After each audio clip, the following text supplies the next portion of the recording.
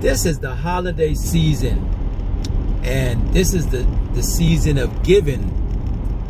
And I don't know if you guys are aware, but 88% of women look at life insurance as a gift of love.